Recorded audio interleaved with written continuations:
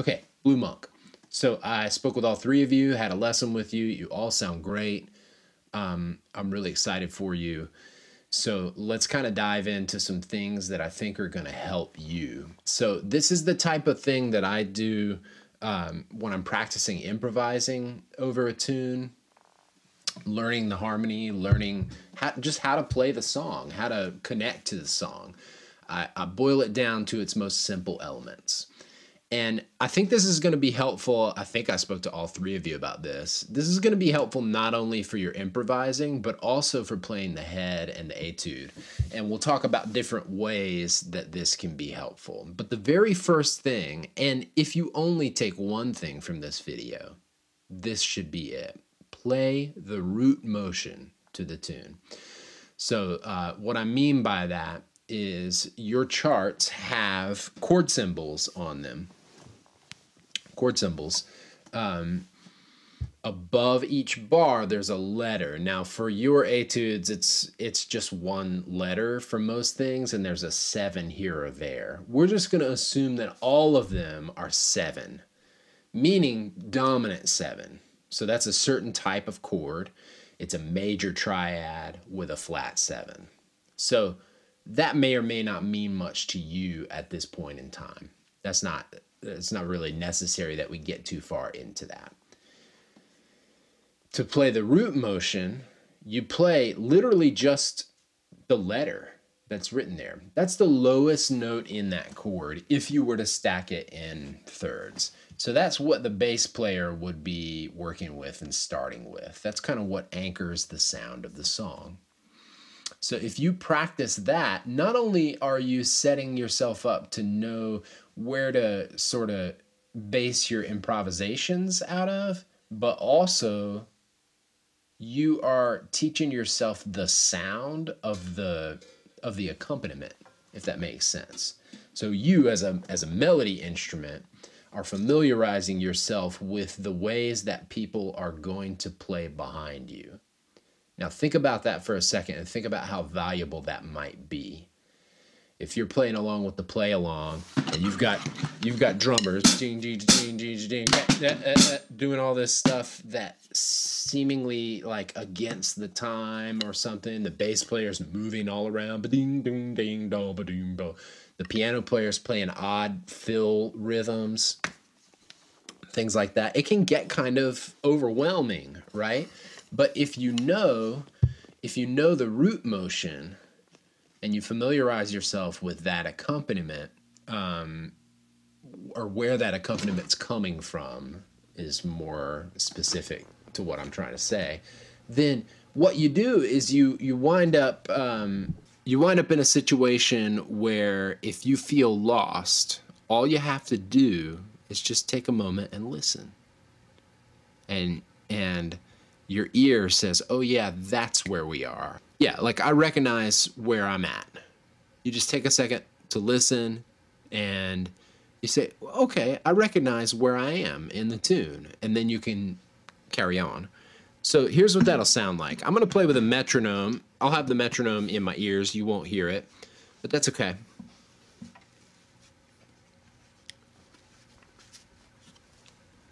I'm going to play the root of each chord. So that's the letter that's written above the bar. And in your fourth bar, you have two G's written.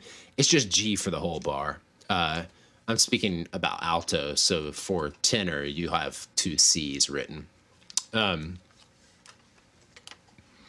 so I'm going to be playing three notes basically. For alto, I'm going to play G, C, and D. And for tenor, I'm going to play C, F, and G. All right. Um, and each of those is going to last for a full bar because it's it's going to fill up the bar just as it's written on the on the chart. Mm-hmm.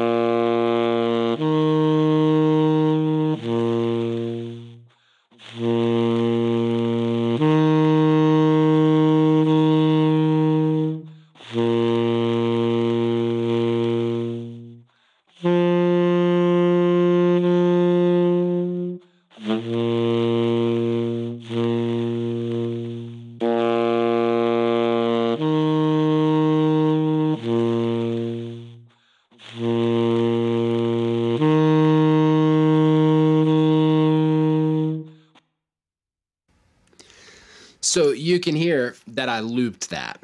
Now, this is not something that you have to do, but I am suggesting that you record yourself doing this, either along with a metronome or even better, record yourself doing that over the play along so that what you wind up with is the play along plus you playing that on top of it and then you use that as your play along practice your uh, your the head to the tune and your etude choruses along with that even practice your improvising along with that so the next step is to begin stacking the rest of the chord on top of that root.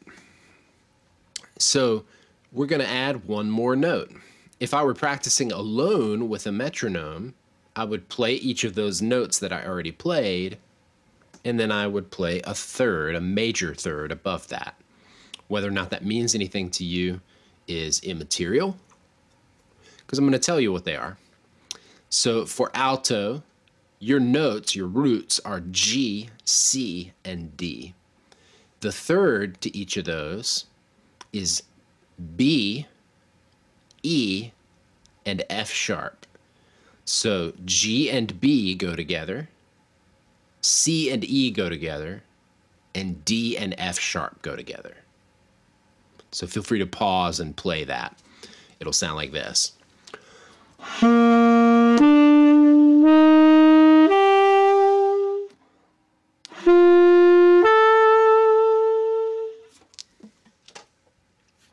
So for tenor, your notes or your chords are C, F, and G. So the thirds to those chords are E, A, and B. So for C, E is the third. For F, A is the third. And for G, B is the third. Okay, that sounds the same as what I just played. Feel free to pause the video and try that out.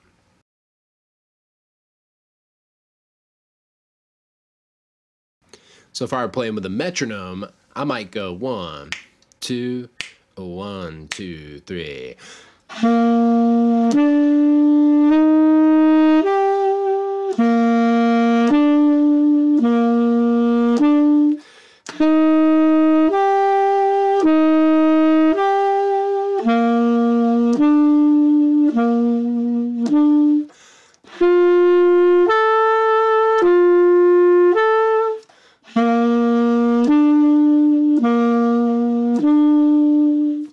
Would be excellent practice.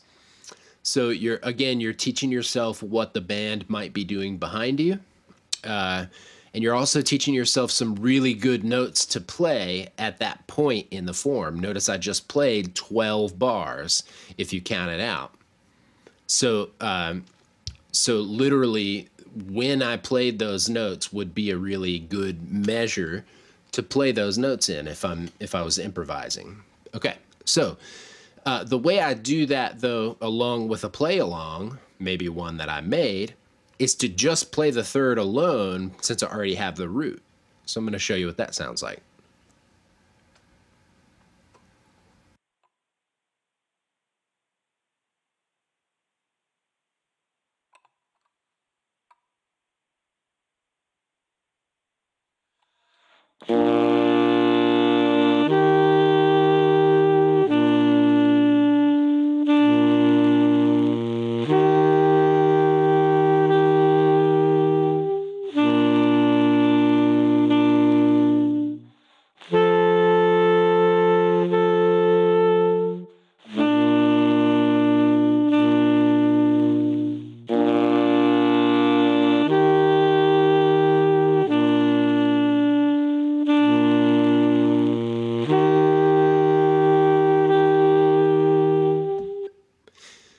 So you can already hear that it's starting to sound like something. So uh, normally, if I were if I were really deeply learning a tune, I would go ahead and play the fifth as well. So put another third on top of that. So in the case of G, which you both have tenor and alto in your uh, in your tune, G and B, right? Root and third, and then put another third on top of that, D. So third meaning skipping notes. G, skip A, play B, right?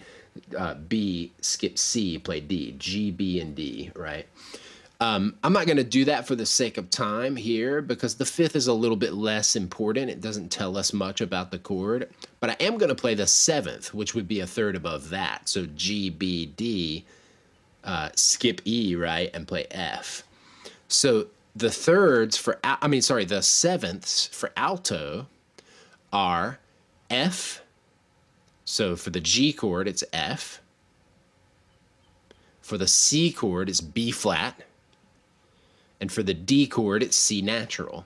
So notice like um, an octave, oct, that's eight, right? Um, a seventh is one less. So for the G chord, the seventh is F. That's one less than the next G. Does that make sense? So G all the way up to F, almost to G, which is an octave, right? Almost to eight. For C, almost to C, but B flat, right? And for D, almost to D, C. Um, and then for tenor, uh, again, C, the seventh is B flat. F, the seventh is E flat and G, the seventh, is F. Again, if I were playing with just a metronome, I might stack that whole chord. I might go one, two, three, and play quarter notes. One, two, three.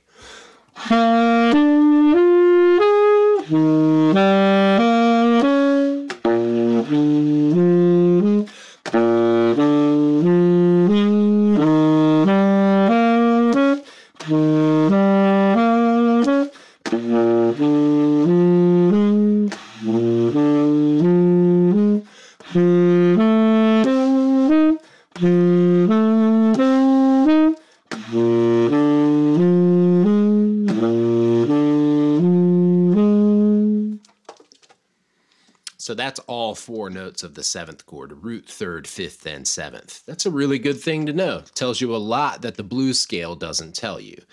Not to knock the blues scale, as I'll demonstrate in a moment, is excellent. I'll, you know, you can sound really good with it.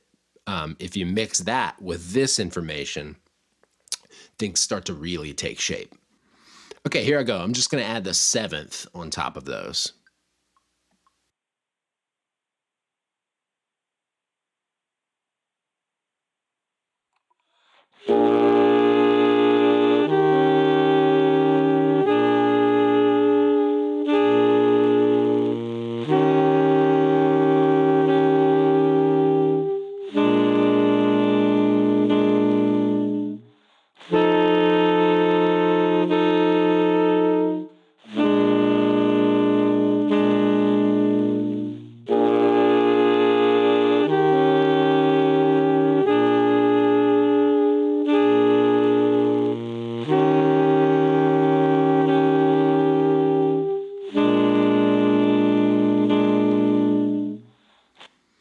So you can hear it really starts to sound like chords, right?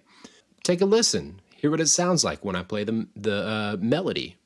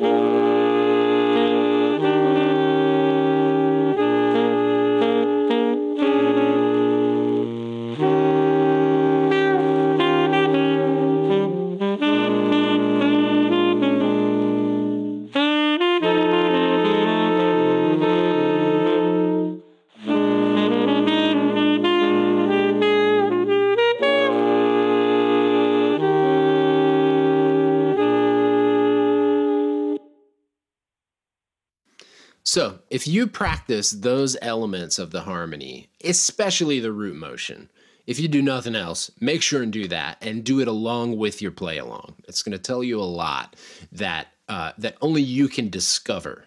You know, I can't tell you how meaningful it's going to be to you, um, or let me say that differently. I can't tell you how it's going to be meaningful to you, um, but it will. I, I, can I can tell you that it will.